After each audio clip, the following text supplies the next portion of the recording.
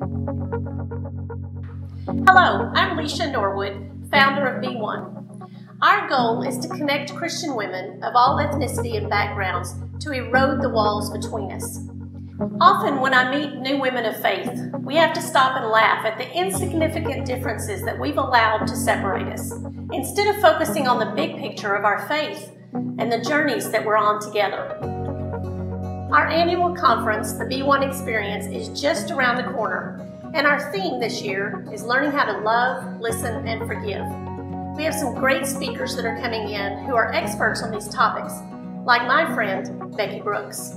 Hi, my name is Becky Brooks, and I'm looking so forward to joining you at the Be1 Experience. It's going to be an incredible weekend of growing with our sisters. The topic I'm speaking on is on learning to love.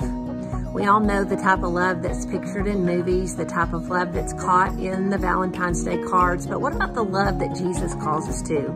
It looks a lot different than that. Sometimes we have to admit it is a choice to want to love like Jesus. Come, let's experience it and learn about it together.